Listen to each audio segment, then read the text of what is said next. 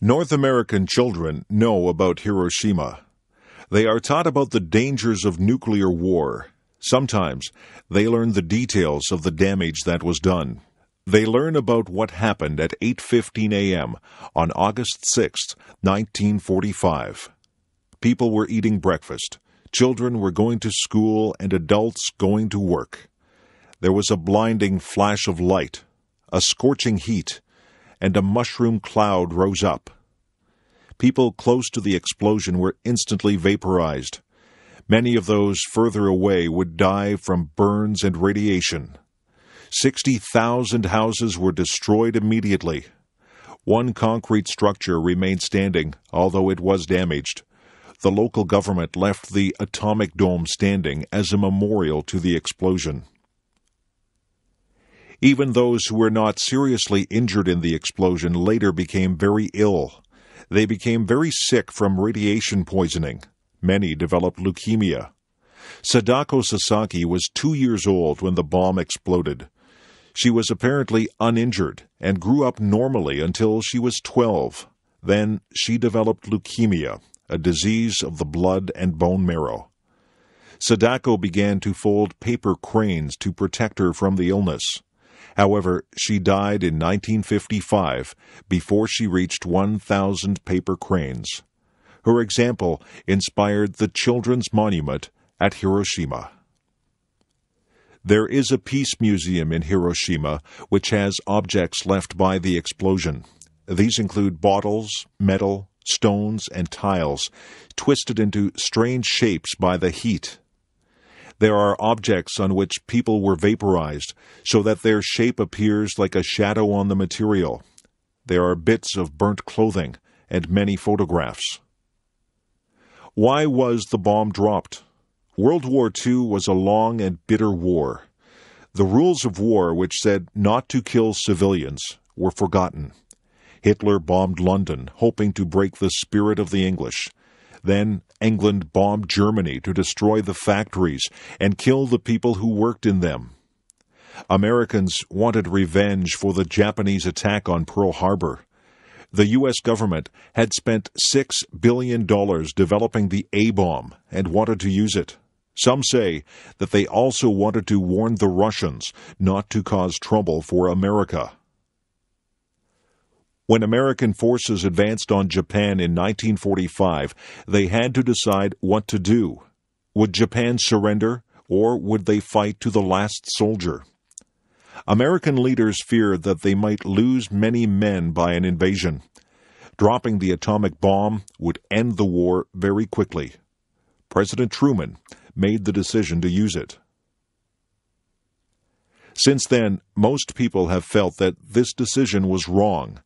It was such a terrible thing to do to people children, old people, women, men, and babies.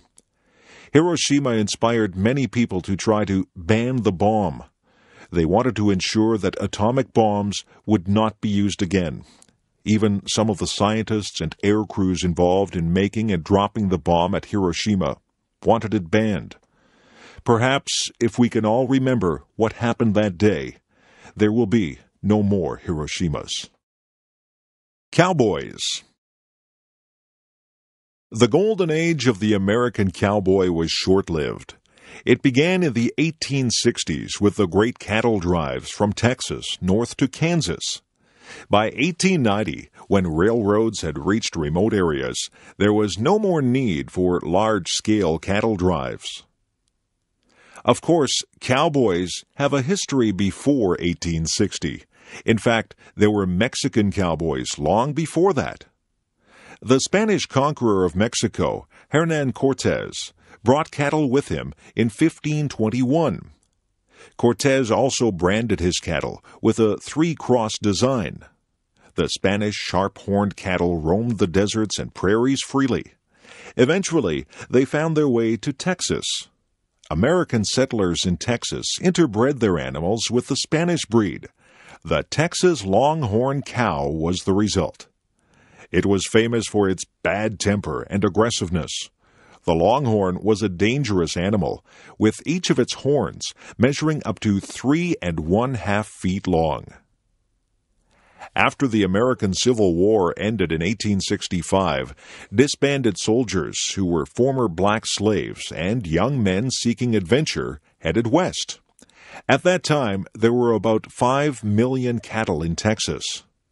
Back in the east, there was a big demand for beef. By this time, railways from the east extended as far west as Kansas. It was still more than 600 miles from South Texas to the railway. Between the two places, there were rivers to cross, Indian tribes, bad lands, and other problems. A fur trader named Jesse Chisholm had driven his wagon north in 1865. Cowboys and cattle followed the Chisholm Trail north to Abilene, Kansas.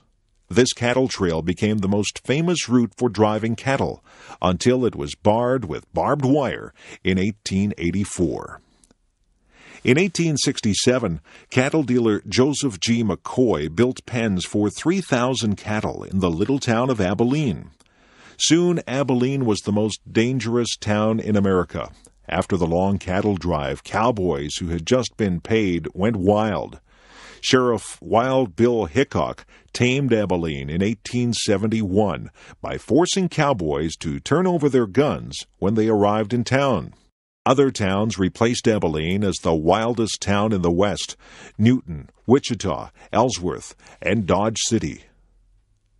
In Kansas, a herd of 3,000 Texas Longhorns might sell for $100,000, making the rancher rich.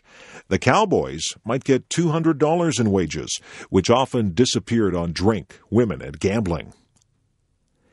Getting cattle to Kansas was far from easy. One of the biggest difficulties was getting the herd across rivers, especially when the river was high. There were no bridges. In 1871, 350 cowboys driving 60,000 cattle waited two weeks for the water level in the Red River to go down. Food for men and animals was also difficult to find at times. An early cattleman developed the chuck wagon, which were both a supply wagon and a portable kitchen. In the 1870s, there were probably 40,000 cowboys in the West. After the prairies were fenced in, there was less work. Large ranches still employ cowboys to round up the cattle for branding or for sale. Even today, about 20,000 cowboys still work in North America. Handel's Messiah George Frederick Handel was a native of Germany and spoke with a German accent all his life. Most of that life, however, was spent in London, England. As a young musician, Handel's sponsor was the Elector of Hanover. Later on, when the Elector became King George I of England, he continued to sponsor Handel. The young Handel went to Italy to study opera. Opera had become a very fashionable entertainment for the upper classes. Handel traveled to England in 1711 and made an immediate success with his operas. Queen Anne granted him a royal pension for life in 1713. Because of this initial success, Handel tried to start a permanent opera company in London, but this failed, and Handel lost money. Since operas used full stage settings with costumes, scenery, and props, they were expensive to produce. Handel decided to produce oratorios in which the parts were simply sung without actions. On August 22, 1741, Handel began to work on his oratorio, The Messiah. The text was made up of passages from the Bible relating to the birth, life, and death of Jesus. Handel worked on it feverishly, missing meals and going without sleep. He finished it 24 days later. When he was asked how he felt on completing it, Handel said, I thought I saw all heaven before me, and the great God himself. In the fall of 1741, Handel received an invitation from the Lord Lieutenant of Ireland to present operas and concerts there. Handel traveled from London to Dublin with his entire luggage and many of his singers. However, in order to rehearse on the way, he had to hire local people to fill in. Once, the composer soundly criticized one local singer who failed to meet his standards. Handel was warmly received in Dublin, where his concerts were sold out. Even his rehearsals were considered newsworthy by the local papers.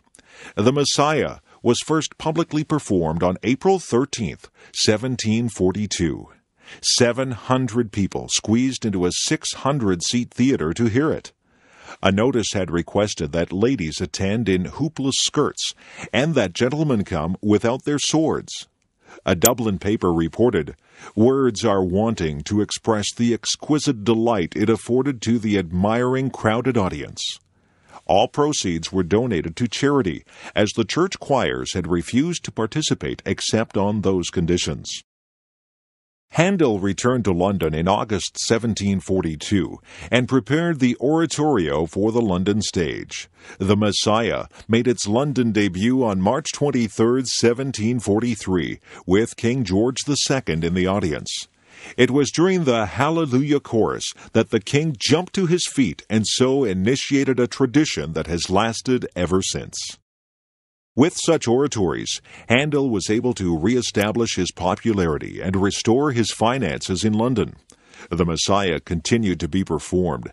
After conducting it on April 6, 1759, the old composer collapsed and had to be carried home. He died eight days later. The Messiah remains Handel's most popular work, combining wonderful music with inspiring religious sentiments. The biblical text speaks of hope and salvation, and the music allows the text to soar into angelic songs. Louisa May Alcott New England in the early and middle years of the 19th century had a flourishing culture. People were passionately interested in ideas and education. Most New Englanders were strongly opposed to slavery, they were also concerned about other social issues. New ideas resulted in new kinds of writing. These ideas included the importance of doing what seemed right for them, no matter how different it was from what other people thought. People also believed that nature gave them guidance in our lives, and that it was important to live close to nature. These and other ideas were expressed through teaching and writing. Bronson Alcott was one of those who looked at the world in a new way. He looked for work as a teacher so that he could pass on his ideas to others. However, very few parents wanted Mr. Alcott to teach their children, and very few people were interested in hearing his speeches or reading his books. As a result, the Alcott family was very poor. Fortunately for Bronson, he married a very capable and energetic woman. Mrs. Abigail Alcott helped to earn money to support the family and did most of the work involved in looking after the four Alcott girls. The oldest daughter, Anna, was quiet and serious. She rarely got into trouble and was a good helper at home. The second daughter was Louisa May Alcott, who became a writer. She was adventurous and cared very little for rules. She was always saying and doing things that got her into trouble. The third daughter, Elizabeth, was very kind and good natured. All the others loved her. As a young woman, Elizabeth had a severe case of scarlet fever and never fully recovered. She died at age 23. The youngest sister, May, was talented, but she was rather spoiled. Because there was never enough money, the Alcott girls felt pressure to work at an early age, but this did not stop them from having fun. Louisa wrote little plays that she and her sisters performed at home. They all enjoyed the woods and ponds around Concord, Massachusetts, where they lived most of these years. When they moved back to Boston in 1848, Anna took a job looking after other people's children and Louisa looked after the house. Meanwhile, their mother worked outside the home. While working on laundry or sewing, Louisa was thinking up stories. At night, she would write them down. When she was 18, she began selling poems and stories to magazines. Within 10 years, Louisa was earning a substantial income from writing. One day, her publisher suggested that she write a story for girls. At first, Louisa didn't like the suggestion, but when she started to write, the ideas came rapidly. Her book was based on her own family and her own childhood. Little Women was published in 1868 and was an immediate success. The March family was very much like the Alcotts. Mrs. Alcott resembles Marmee. Meg is like Anna, and Jo is like Louisa herself. Beth is based on Elizabeth, and Amy on May Alcott. Many of the situations in the book happened to the Alcott family. Nonetheless, many characters and incidents were invented. Little Women and its sequel opened up a new kind of writing for children. While these books did have a moral, they were more lively and interesting than earlier children's writing. Little Women inspired many writers later to write more realistic accounts of childhood. Newspapers All the great cities in the world now have newspapers. But newspapers, as we know them today, are not that old. The very first newspapers began long after the invention of printing. They started in Europe in the 1600s and were usually only a couple of pages long. For a long time, newspapers were not very common. Governments didn't want public discussion of their policies and decisions. Often, they closed down papers or taxed them heavily. The stamp tax on newspapers and pamphlets was one of the causes of the American Revolution. Newspapers began to grow in size when they discovered advertising as a source of income. Nowadays, advertising is the main revenue source for most newspapers. As newspapers became more widely circulated, they could ask for more money for their advertisements. By the late 18th century, newspapers were in common use in Europe. The 1800s and early 1900s was the golden age of newspapers. Improvements in transportation, communication, and printing processes made it easier to collect news from near and far and to publish papers more quickly and more cheaply. The Weekly Dispatch and The Times, both of London, England, were leading newspapers through much of the 1800s. The Times was one of the first papers to include illustrations. It was the first newspaper to use a steam engine to turn the presses.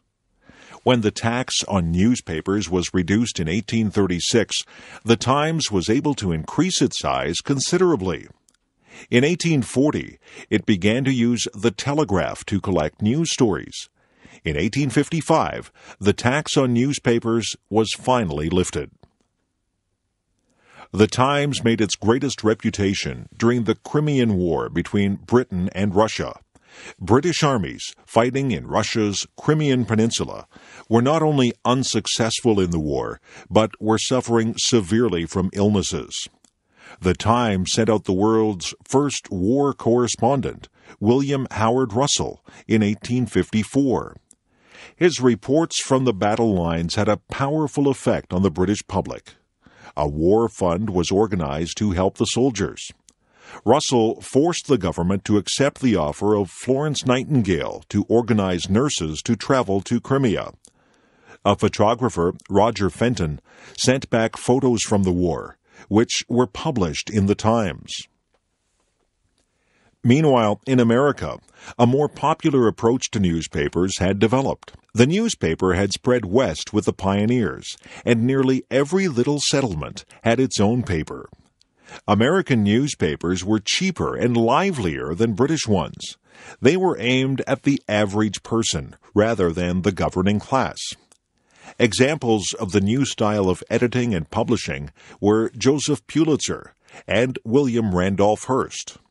Hearst especially employed sensational and emotional writing, which aimed at stirring up the public to action. Hearst is sometimes accused of starting the Spanish American War of 1898 with his overheated editorials. Nonetheless, his methods were successful in raising circulation and were widely imitated. The modern newspaper contains more than hard news. In fact, news may be a fairly small part of it. Advertisements, gossip, show business, photos of celebrities, sports, stock market prices, horoscopes, comic strips, weather reports, and much more are found in its pages. The modern newspaper is a total entertainment package. A question for the future is whether electronic newspapers will replace paper newspapers. Plains Indians The best known picture of an American Indian is a warrior in buckskin riding a horse, wearing a headdress of eagle feathers, and carrying a spear or bow and arrow. This is a picture of a Plains Indian and it appears in many Hollywood westerns and on the American five cent piece. There were many tribes of Plains Indians, for the Northern American prairies or plains stretch from the northern forest of western Canada down to the states of Oklahoma and Texas in southern USA. It's interesting that our image of the Plains Indian is only true for the last couple hundred years. It was not until the 1600s that Plains Indians began to ride horses. There were no horses in America until Spanish soldiers brought them in the 1500s and 1600s. Some of these horses escaped and ran wild on the prairies of America. It was these wild horses that the Plains Indians learned to tame. Before they had horses, the Indians hunted buffalo on foot. Buffalo were huge bison, or wild cattle, which traveled in very large herds. A big herd might have millions of buffalo. It was difficult to cross the prairie because these animals blocked your way. The Plains Indians had various ways of killing buffalo. Before they had horses, Indian hunters would quietly creep up close to the herd. Then they would fire their arrows together. There was always the danger that the herd would stampede and trample the hunters. Another method was to drive the buffalo over a steep cliff. There are a number of places on the plains where this was done. Once the Plains Indians had horses, they preferred to hunt buffalo on horseback. When the tribe started to use guns, they could kill many buffalo. Artist Paul Kane describes a buffalo hunt in the Red River Valley in 1846. The hunters carried their bullets in their mouths so that they could shoot faster. They could ride right into the herd, shooting at close quarters. They would drop an article of clothes on the slain buffalo to mark it for themselves. Then they would continue the hunt. After the hunt, the Indians would skin the animals, and the women would dry the meat and store it in fat. A single hunt might kill more than 30,000 buffalo. The Plains Indians received nearly everything they needed from the buffalo. Of course, they used buffalo meat for food. They also used the buffalo skins for clothing, blankets, and the covering of their teepees. These teepees were cone shaped tents, which were easy to put up and take down. The Plains Indians were nomadic and followed the animals they hunted. Since these animals were plentiful, Plains Indians usually led a comfortable life. They developed complex religions and social rituals, as well as specialized societies or clubs. There were also rituals and customs for hunting and warfare. Many Plains Indians fought hard against the settlement of the Great Plains. The American government discouraged the hunting of buffalo because without the buffalo, the Plains Indians would not be able to fight. With the buffalo disappearing, the Plains Indians had to give up fighting and move into government sponsored reservations. Remember the Alamo. The first Europeans in the American Southwest were Spanish explorers and conquerors. They were followed by religious orders that set up missions to Christianize the Indians. One of these missions was San Antonio de Valero. It was founded in 1718 in what is now San Antonio, Texas. Later, the mission structure became known as the Alamo. In 1821, Moses Austin had persuaded the Spanish authorities to give him a charter to settle 200,000 acres in Texas. The elder Austin died shortly after this. Five weeks later, his son Stephen Austin traveled to San Antonio to have this charter confirmed by the Spanish governor. In 1822, Austin led 150 settlers into Texas. When Austin learned afterwards that Mexico was now independent of Spain, he journeyed to Mexico City to have his charter reconfirmed. The Mexicans appointed Austin regional administrator for his colony. Texas grew rapidly. Cotton farming and cattle ranching were profitable and attracted American settlers. By 1830, there were 16,000 Americans in Texas, four times the Spanish Mexican population. Sam Houston had been a successful soldier and politician. He was a friend and supporter of President Andrew Jackson. However, personal problems and political difficulties led him to leave the USA for Texas.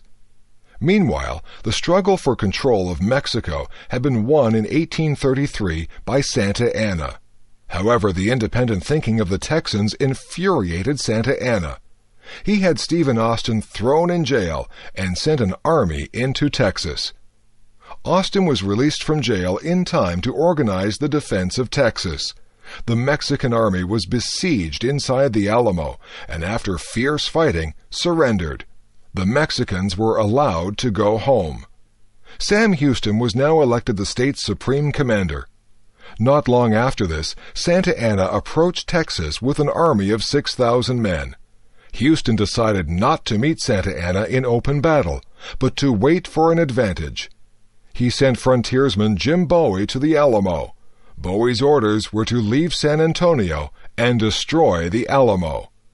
When Bowie arrived, however, Texas volunteers were preparing the Alamo for a siege. Bowie and his men pitched in to help. Other volunteers came. The fiery William Travis arrived with 25 men. Then the famous frontiersman, Davy Crockett, came with a dozen Tennessee sharpshooters. When Santa Anna attacked, there were 183 Americans inside the fort. Santa Anna brought up cannon to bombard the Alamo. As the walls began to crumble, 4,000 Mexicans attacked from all four sides. The Mexicans overcame all resistance because of their large numbers, but they suffered very heavy losses. All the American defenders were killed. While the battle was raging, the Texans back at the colony declared their independence from Mexico. Sam Houston now gathered men to fight the Mexican army. At first, he retreated while waiting for a suitable opportunity.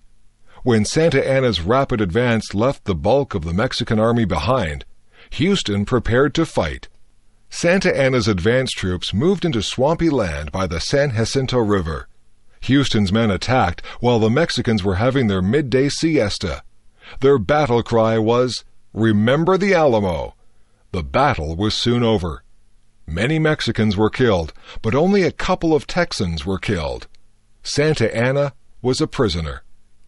Santa Anna readily agreed now to recognize Texas as an independent republic.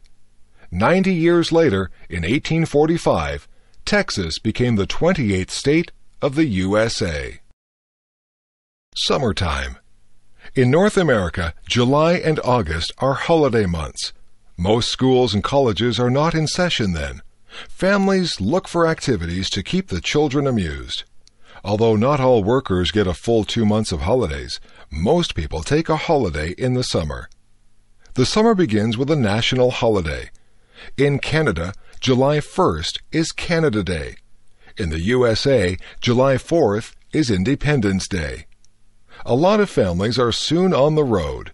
Some travel to cottages by the lake, some go sightseeing or camping, in Canada, especially, the summers are short, so people try to make the most of them. In much of Canada and parts of the northern USA are woodlands dotted with lakes. These regions of rocks, rivers, pine trees, and wild animals are not usually suitable for farming. However, they are ideal places to spend a summer holiday. They are far from the cities. The woods are quiet and peaceful. People fish, go boating or swimming, have barbecues outside, or play outdoor sports. Some people spend their whole summer at the cottage. Others go for a week or two. City people who don't have a cottage like to go to parks and swimming pools in the city. If they are near a lake or ocean, they may go there for the day. Many museums, libraries, and art galleries have programs for children in the summer. Swimming is probably the favorite summer sport. It feels wonderful on a very hot day to jump into the cool water. Swimming is also excellent exercise. Besides swimming, baseball and football are also popular in the summer. Spending an afternoon or evening at a baseball game is a favorite summer pastime. Summer is also a favorite time to catch up on reading. Stories of adventures and love novels are favorite light reading. But summer is especially a time for traveling across the country. Some people have a camper or trailer that they can live in. Some stay in campgrounds and sleep in tents. Others stay at hotels or motels, while others rent cottages or cabins for a week or two. Most trips are by car. Many people visit national parks and other wildlife areas. Of course, trips along the ocean and the lakes are favorites. Along the Atlantic Ocean, the coasts of New England and Canada's maritime provinces are especially popular. On the Pacific coast, tourists travel from California all the way up to Alaska. Boat cruises along the shores of British Columbia and Alaska are especially popular. Of course, some people find it most relaxing just to stay at home. Others cannot afford to travel if you have an air conditioned house with a television, video player, CD player, and computer, then it can be very pleasant to stay at home. A lot of new movies are released at the theaters in the summer. Air conditioned theaters with new movies and lots of pop and popcorn are favorite summer places. After two months of summer activities, most people are ready to go back to school and work, but they usually have lots of happy memories to take back with them. Texas. The state of Texas is famous for having the biggest and best of everything. Before Alaska became a state, Texas was the largest American state. It was also famous for its huge cattle ranches. Cotton is a major crop, but much of the wealth comes from oil and gas. People think of Texans as being wealthy because there have been lots of cattle and oil millionaires. In the late 19th century, Texas cattlemen used to drive their herds north to Kansas. There, a train to the east shipped the cows. Eventually, the railroad came to Texas, and the great cattle drive stopped. By then, many Texans owned large ranches and were quite wealthy. In the 20th century, oil has made many Texans wealthy. Oil refining has led to chemical industries and synthetic products. Most Texans now live in cities. Many oil companies have their headquarters in Dallas. Other large manufacturing cities are Houston, Corpus Christi, Fort Worth, and Austin, which is the capital of Texas. Several cities such as San Antonio and El Paso have a strong Spanish influence. This dates back to the first Spanish visitors in the 16th century. The old mission at San Antonio is famous as the Alamo, where an important battle for Texas independence was fought. Texas is a huge area with mountains, deserts, prairies, rivers, and islands. The rugged beauty of its grasslands and deserts attracts many tourists.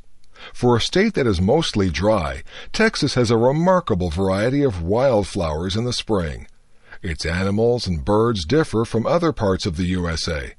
Texas has the armored insect eater, the armadillo, the swift running bird, the roadrunner, prairie dogs, jackrabbits, kangaroo rats, wild pigs, horned lizards, and 100 species of snakes. As might be expected also, it has many beautiful kinds of cacti and other desert plants. At its largest, Texas is more than 600 miles wide by 600 miles long. Such a large area develops a distinct culture of its own, and Texans are widely recognized by their accent and manner of speaking, their attitudes and interests, and their sense of independence and self reliance. Texas is also known for its beautiful women, who regularly win national beauty contests. Its men have a reputation for being rugged, for not talking more than they have to, and for being straightforward and honest. Although many people think of cowboys and Indians when they think of Texas, it is a center for high tech industries. The American Space Program has its headquarters in Houston, and Mission Control Center is there. Texas is also an important manufacturer of computers and other high tech products. Oil production is still important in Texas, but it ranks third as a source of revenue behind manufacturing and tourism. The colorful history of Texas and its wonderful scenery contribute to a thriving tourist industry. Texas is also an important business and financial area. Yes, even though times have changed, Texans proudly maintain that their state still has the biggest and best of everything. The Golden Man, El Dorado. When Christopher Columbus sailed west from Spain in 1492, he was trying to reach the Spice Islands, which today are called Indonesia. Spices were very scarce and valuable in Europe at this time. No one knew that two vast oceans and the American continents lay between Europe and Asia. Columbus did not find spices in America, but he did bring home some gold trinkets. The American Indians wore these as jewelry. Gold, not spices, was to become the biggest motive for exploration. Expeditions into the interior of the Americas were very costly and very risky. Only by promising the authorities huge profits could sailors and soldiers raise money for their expeditions. They also needed to promise rich rewards in order to get followers and crews. If a leader returned to Europe without gold and jewels, he might end up in jail. No wonder the Spanish conquerors were always searching for gold. At first, the Spaniards stayed around the coasts of the Caribbean Sea, but stories of gold in the interior tempted them to explore inland. They asked the Indians where their gold jewelry came from. The Indians would point further inland. They said that a wealthy people lived in the high mountains that traded gold and emeralds for pearls, cotton, and shells. The Spanish emperor had given the rights to exploit present day Venezuela and Colombia to his German bankers in 1528. So Germans Dalfinger, Federmann, and Hohermuth led a series of expeditions into the jungles, grasslands, and mountains. Meanwhile, Spanish conquerors had found immense riches in gold and silver. Hernando Cortez had captured the kingdom of the Aztecs in Mexico in 1519. He had sent immense treasures to Europe. Soon after this, Francisco Pizarro began to explore the west coast of South America. In 1531, Pizarro invaded Peru and destroyed the kingdom of the Incas. Pizarro melted down the gold and silver treasures of the Incas and sent gold and silver bricks back to Spain. The rush to find more gold became very heated. Rumors came down from the mountains of Colombia about a golden man, El Hombre Dorado. There were stories about a king so rich that he wore gold dust instead of a coat. Colombia was the kingdom of the Chibchas, they were a trading people who traded salt and emeralds for gold, cotton, pearls, and shells. The actual gold did not come from their kingdom. It was found in the mountain rivers and brought to the Chibchas for refining and metalwork. Several armies converged on Chibcha territory. The first to arrive was the Spaniard Quesada, coming up the Magdalena River from the Caribbean. He found the chief cities of the Chibchas and seized their gold and emeralds. Shortly afterwards, one of Pizarro's captains arrived from Peru and Ecuador. Then the German Federmann arrived from Venezuela. Quesada gave the latecomers some gold and jewels to ease their disappointment. Quesada's men also found out about the Golden Man. High in the mountains was a lake created by a meteorite. The Indians believed that the golden god from the sky now lived at the bottom of the lake. When a new leader of the tribe was elected, he was covered in grease and fine gold dust was blown over his body so that he appeared to be made of gold. He was taken out to the middle of the lake on a raft. He would jump into the lake and stay in the water till the gold dust was washed off. It was considered an offering to the god. Gold ornaments were also tossed in the lake. Then the king and his followers would return to the shore. The ceremony was stopped several generations before the Europeans arrived. Many people were unwilling to believe that this was the whole story. They began to search for a golden city hidden in the jungle. Many explorers perished in this search. In their search for gold, the Spanish conquerors destroyed the great Indian civilizations of America. Towns and villages had been ruined, thousands of people killed, and wonderful pieces of art melted down. Some Indians believed that gold must be a food that Europeans desperately needed to stay alive.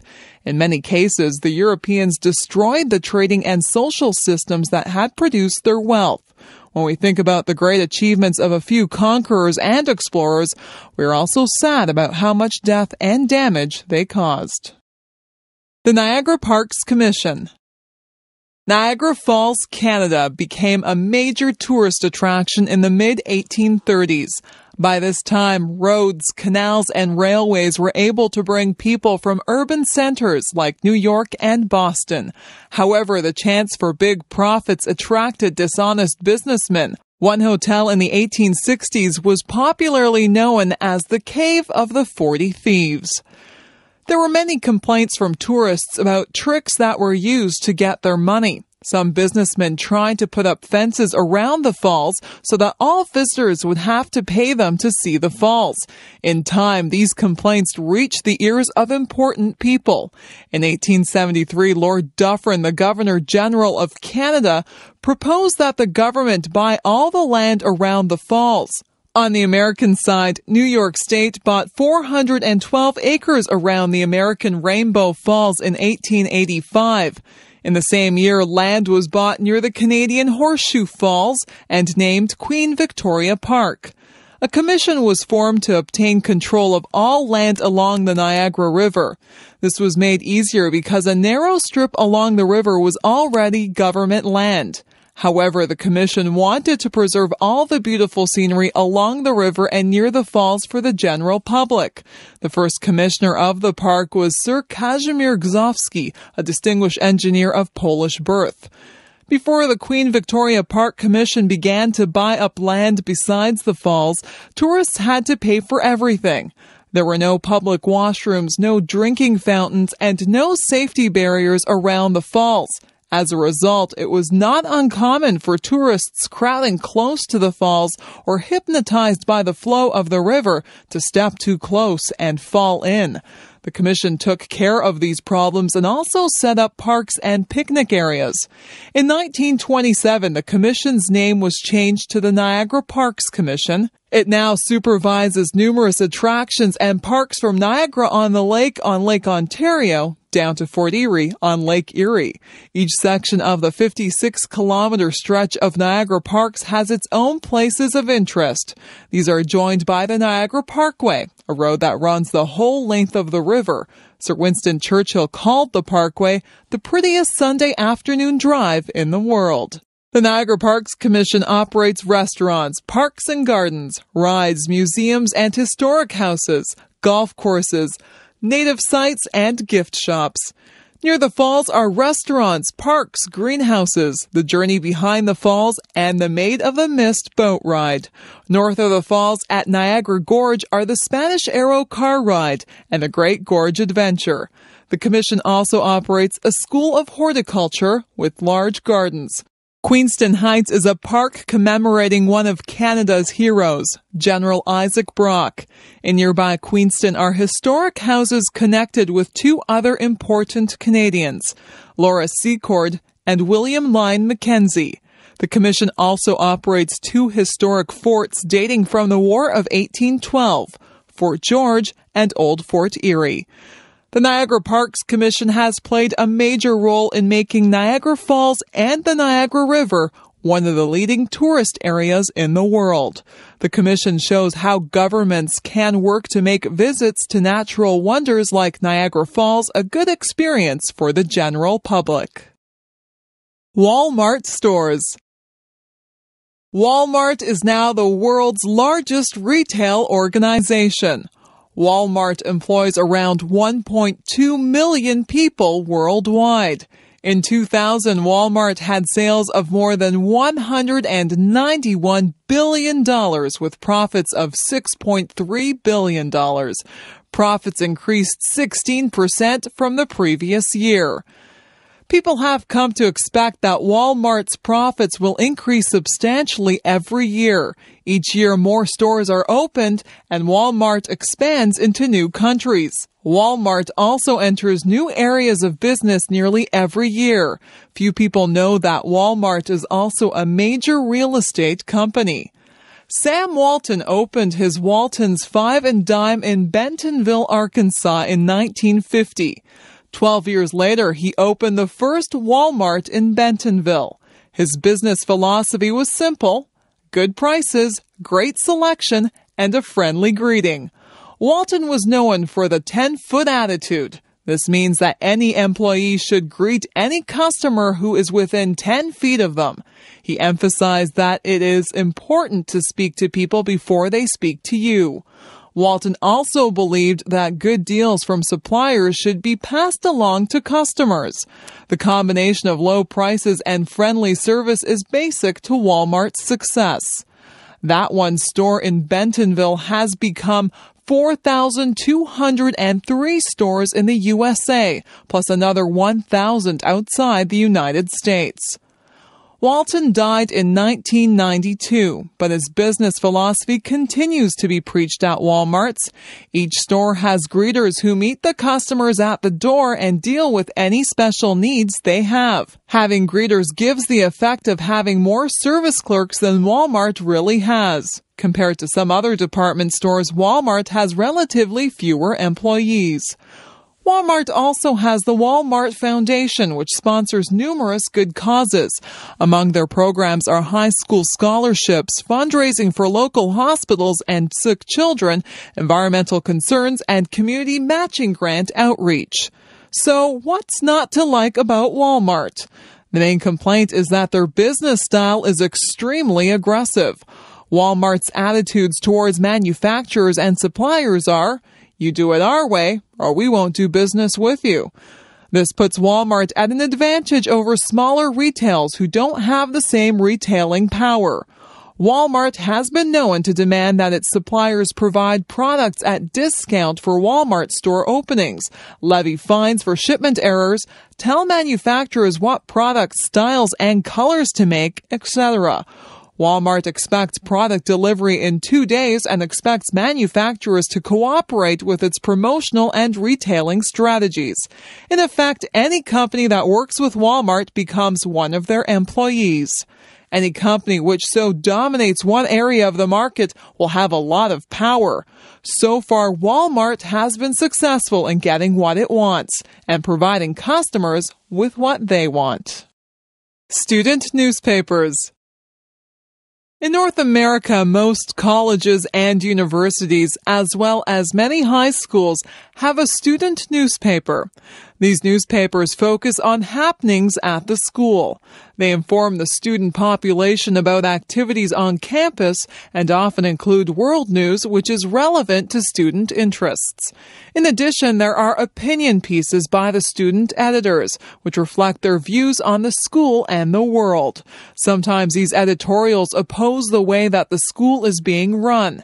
Occasionally, school officials will try to shut down or censor student papers if they find their writing embarrassing or offensive. But usually these disagreements are resolved by discussion. At some colleges, the student newspaper is connected to a professional program in journalism. But most of the time, the idea behind the paper is to get students to research the facts, debate the issues, and learn how to get their opinions expressed. If these students go on to become professional journalists, that is fine, but it is not really expected. You might wonder whether enough things happen at a college to fill out a weekly paper. Yes, indeed. Schools and universities reflect the real world. There are often problems with the budget and cuts to programs. New buildings go up or are torn down. Policies change, tuition goes up, classrooms become crowded, and personnel come and go. University morale and funding often reflect government policies and social attitudes. These tie the college to the larger world. Editorials often comment on how national and world events affect the university. At the same time, there are many things going on within the university. Construction disturbs classes, offices are broken into, computers are stolen, accidents happen in the parking lot, students die on the roads during the holidays, sports teams win or lose, graduation takes place, students and instructors win awards, plays are put on, distinguished visitors speak, rock bands are in concert. Then there is always the question of student rights and responsibilities. What kinds of student behavior are unacceptable? Should the university pay attention to student activities off campus? Committees meet with student representation to set guidelines for these matters. Another issue is who sets the agenda for the university. Corporate sponsors today are buying exclusive rights to distribute their products on campus. Governments are expecting universities to follow official policies in order to receive funding. Social groups are demanding that university policies reflect their special interests. So there is no shortage of topics for student journalists to address. Of course, they also write about everything that young people are interested in music, movies, computers, sports, travel, and pop culture. Student newspapers are an important training group for democracy. They are also very interesting to read coffee, and donuts. Let's go for coffee. All over North America, friends like to meet at the coffee shop. Here, people sit and talk about the day's business, news and sports, personal concerns, shop talk, or simply gossip. Coffee shops have an informal atmosphere that encourages conversation. You don't have to dress up either. Students drop in wearing t shirts and blue jeans and sit beside businessmen wearing suits and ties. Many coffee shops are open 24 hours a day, including Sundays and holidays. That way, people who work at night or who have trouble sleeping can drop in at any time. Because coffee and donuts are relatively inexpensive, people feel comfortable sitting for a while, knowing that they are not spending a lot of money. Although coffee and donuts are the main items sold at coffee shops, many also serve other beverages and desserts, and sometimes a light lunch. Many patrons have a favorite kind of coffee or other drink and will drive past other coffee shops to go to one that serves the flavor they like. Visitors from other countries are often surprised at how roomy these coffee shops can be. Some are as large as regular restaurants. Having a nice bit of space around them encourages people to relax. Some people arrange regular dates and meet every day or every week at the same time. For example, retired friends may get together every weekday morning at 10 a.m. Others stop every morning at the drive in line to get their coffee for work.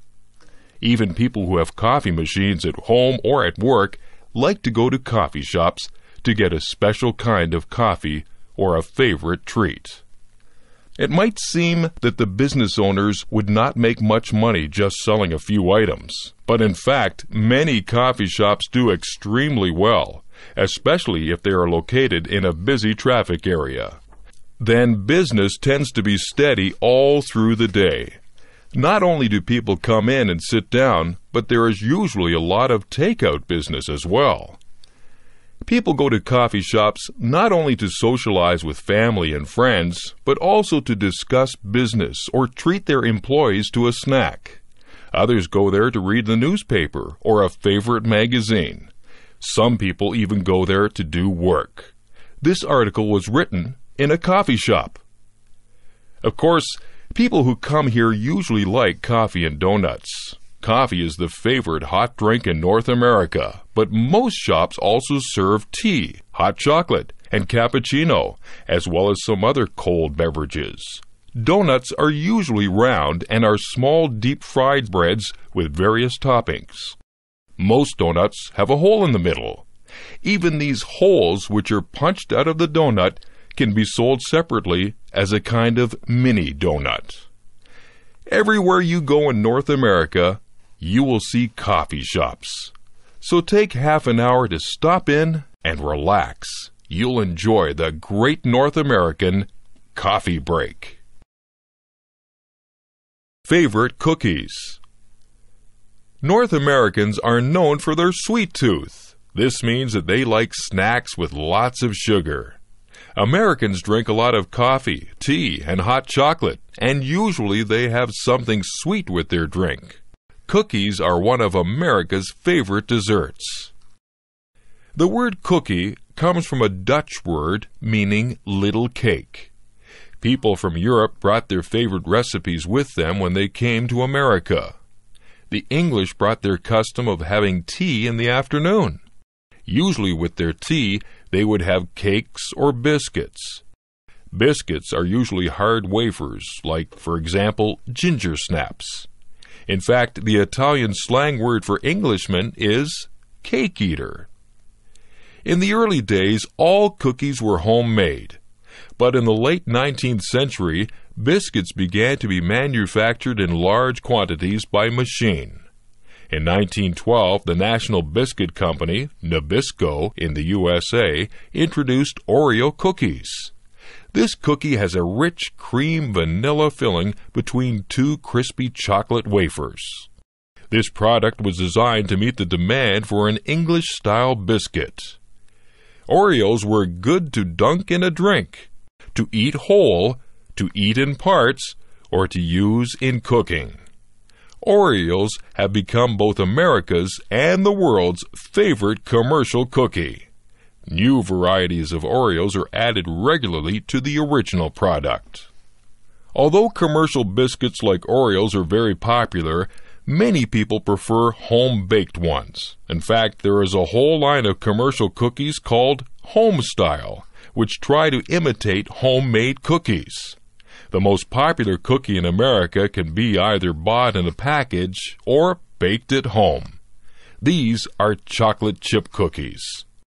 Ruth and Kenneth Wakefield operated the Toll House Inn in Whitman, Massachusetts.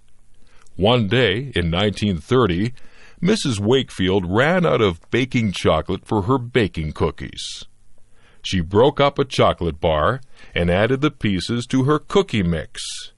She expected that the chocolate bits would melt into the dough when she baked them, but they didn't.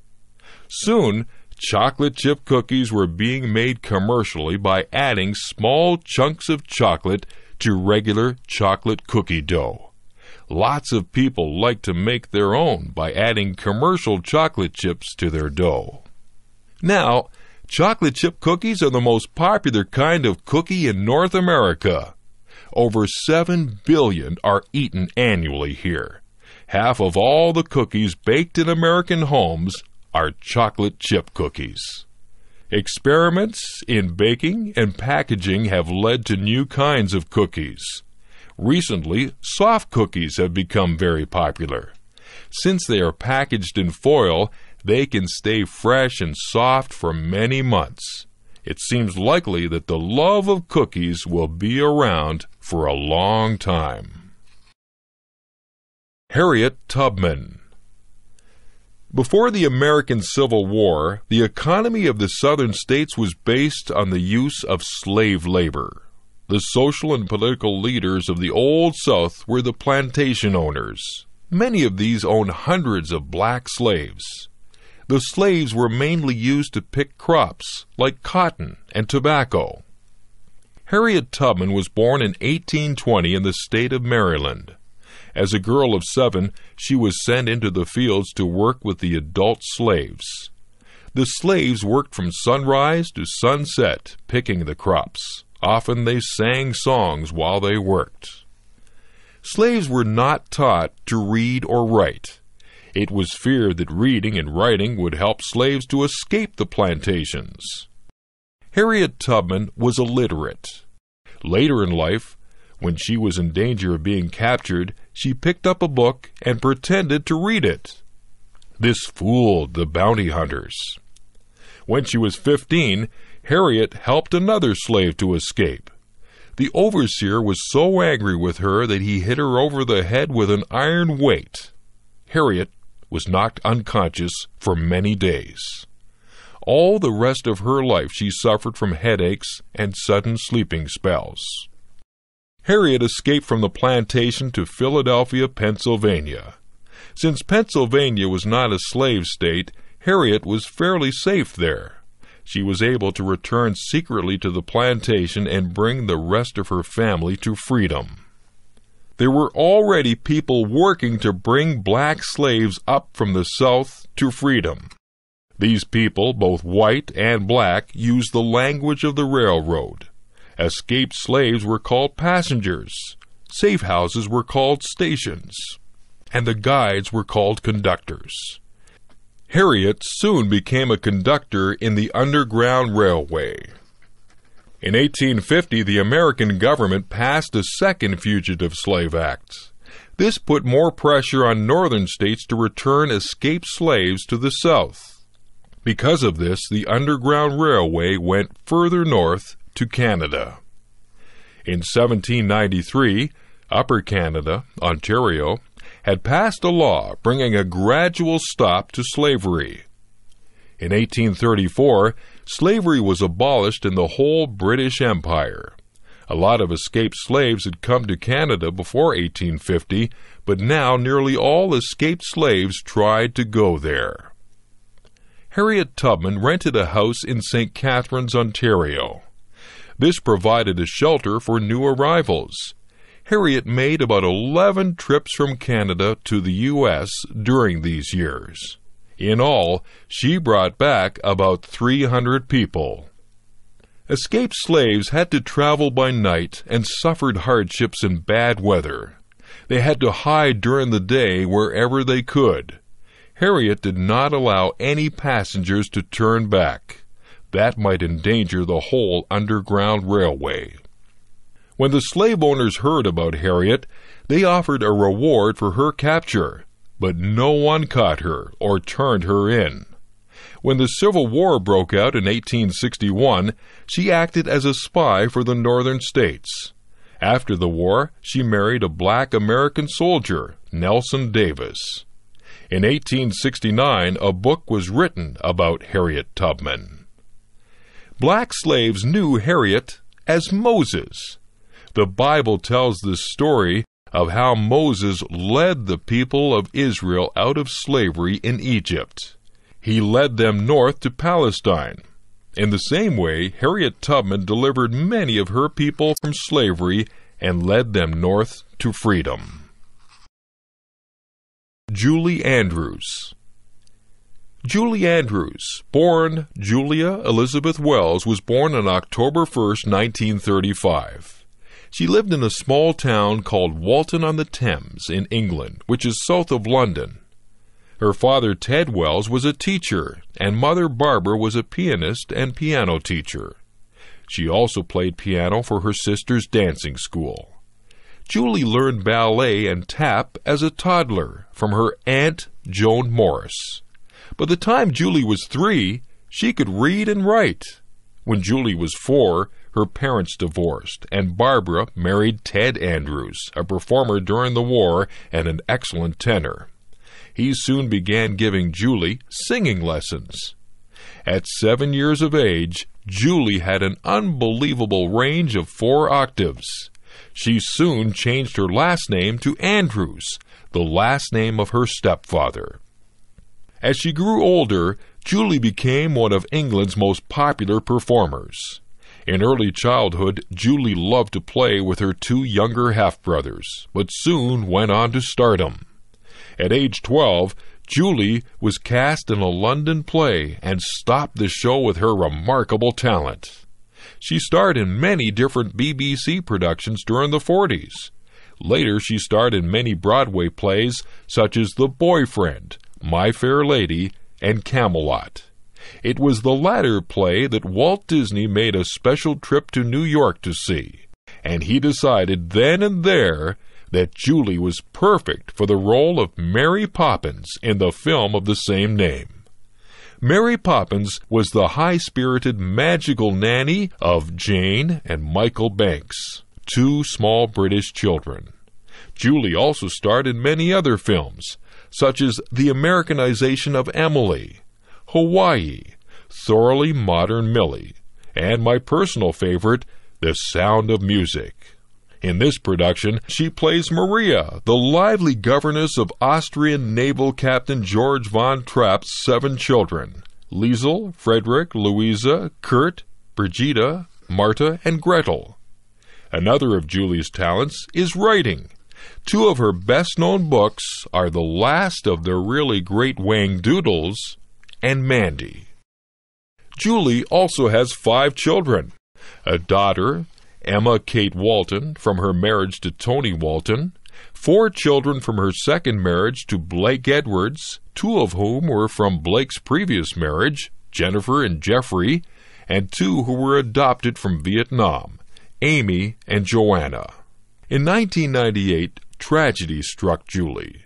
She lost her extraordinary talent for singing due to surgery on her throat in order to remove a benign tumor. A year later, she made an attempt to sing again. However, her voice will never be the same. Julie has recently been on Britain's Royal Honour List and is now a dame. The Stratford Festival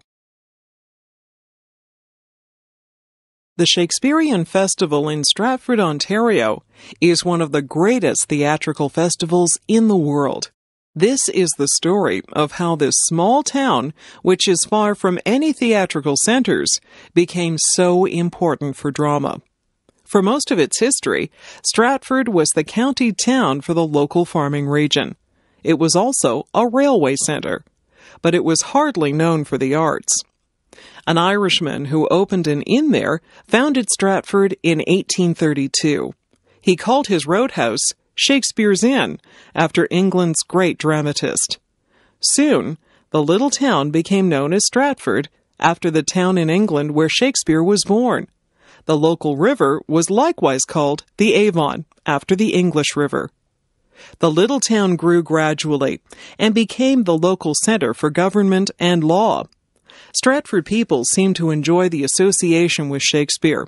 Many streets were given Shakespearean names, such as Arden Park, Portia Boulevard, Romeo Street, and Viola Court. Local schools received names such as Hamlet Public School or Falstaff School. There was still no attempt at Shakespearean theatre in Stratford, Ontario. In 1913, the Canadian Pacific Railway threatened to take over the town. They proposed a railway line running through the center of Stratford, which would have taken over much of the town's parkland. The townspeople voted down this proposal. Instead, they expanded the parkland along the Avon River. These parks were enhanced with gardens, and in 1918, a pair of swans was added. These swans were an imitation of the swans on English rivers. In 1950, it appeared that the railway would be closing some of its workshops in Stratford. The town was looking for ideas that might lead to new employment opportunities. This was when one citizen, Tom Patterson, suggested that the town sponsor a drama festival. Patterson was able to get Irish director Tyrone Guthrie to come to Stratford in 1952. Guthrie agreed to head up the 1953 season. Everyone in Stratford pitched in to raise the necessary money and prepare the stage. Since there was no time to put up a building, the plays were staged under a huge tent. Two plays were put on during a six week season, and with great success. In 1957, a permanent theater was built. The Stratford season in 2001 runs for more than six months, from late April to early November. There are 14 plays in production at three different theaters. Altogether, there are 668 performances, with a total attendance of 580,000 people. About 40% of the audience comes from the United States. Tom Patterson's plan to ease unemployment in Stratford has worked well. The festival has helped to create nearly 6,000 jobs and generate wages and salaries of $110 million annually. In total, the festival brings about $170 million of revenue into the Stratford area. Of course, to the audiences who come back every year, the main attraction is seeing some of the best Shakespearean theater in the world. The Stratford Festival Company is Canada's leading acting company, and many of its actors have become internationally known. The war that both sides won. Today, the 3,000 mile boundary between Canada and the United States is known as the longest undefended boundary in the world. But for three years in a row, 1812, 1813, and 1814, U.S. armies invaded Canada.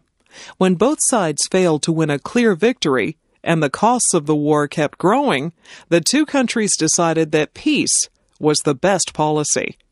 On June 18, 1812, the United States declared war on Great Britain. The United States had proclaimed their independence from Britain in 1776, 36 years earlier. There were still bad feelings between the two countries. Great Britain was not treating the United States as an equal independent country. British ships were stopping American ships from trading with Europe. British sailors went aboard American ships looking for deserters from the British Navy. If an American sailor could not prove that he was an American, he was taken to work for the British. At the same time, the population of the United States was expanding. Americans wanted to move west into lands held by various American Indian tribes. Some Americans felt that Britain was encouraging the Indians to fight them and was supplying guns to the Indians. In 1812, Canada was made up of a small number of British colonies just north of the American border. Americans felt it would be easy to take over Canada, then Canadian land would provide homes for their growing population. Since Americans outnumbered Canadians 10 to 1, the U.S. government thought that no one in Canada would dare oppose them. Moreover, Britain was fighting a terrible war in Europe against Napoleon, the Emperor of France, and could not spare any troops to help defend Canada. But in 1812, Canada had one advantage over the USA good leadership. British General Isaac Brock had served in Canada for 10 years. He knew how to inspire both his own soldiers and the ordinary people of Canada to fight for their country.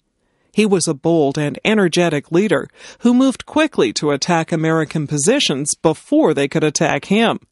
Brock found a valuable ally in the American Indian chief Tecumseh. Tecumseh had been trying to unite the scattered groups of Indians to fight together against American expansion. He convinced the Indians that their best chance for success was to join the British and Canadians against the Americans. Although both Brock and Tecumseh were killed in battles, their example continued to inspire the defenders of Canada to fight against the American invasions. Before the end of 1814, all American forces had been driven out of Canada. By 1814, Britain had defeated the French Emperor Napoleon, now it was the turn of the United States to be invaded. A large British force attacked the heart of the United States and burned the government buildings at Washington. Another British force attacked the USA near the mouth of the Mississippi River, but it was defeated at the Battle of New Orleans. Both sides were tired of fighting by this time, and a peace treaty was signed on December 24, 1814. This agreement restored everything to the way it had been when the war began. Although this really meant that no one had won the war, both sides claimed victory. The Americans felt that they had gained full recognition of their independence. Britain would no longer board their ships or encourage the Indians to fight them. Canadians felt that they had shown Americans that they wanted to develop their own country in their own way, separate from the United States. But the biggest result of the war was the decision by both countries never to fight each other again.